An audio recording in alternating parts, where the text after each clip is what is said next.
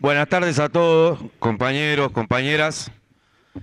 Es un orgullo estar presente acá y el polo obrero no nos deja de asombrar, más de 800 delegados de todo el país.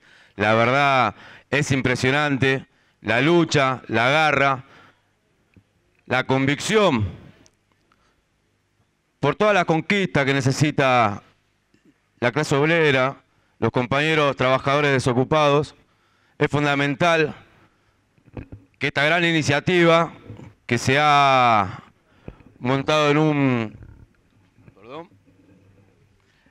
en un Congreso Nacional es imprescindible la unidad de los trabajadores desocupados y ocupados. Nosotros como sindicato tuvimos una gran experiencia y vamos a estar agradecidos para toda la vida.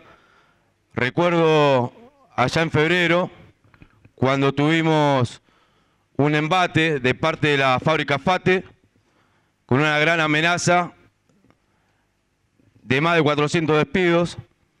Y en cada iniciativa, en cada situación que hemos llevado adelante, los compañeros del Polo Obrero han estado presentes y esa situación es muy importante para nosotros reconocerla porque de la única manera que podemos lograr los objetivos y las conquistas y las reivindicaciones necesarias es luchando en unidad.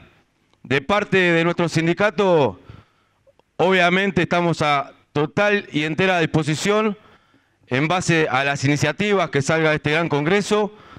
Así que bueno, compañeros, eh, es fundamental ganar las calles, fundamental en unidad y más sabiendo que los tiempos que se avecinan no, no pronostican buenas situaciones. Así que a seguir luchando y nos vemos en la calle, compañeros. Buenas tardes.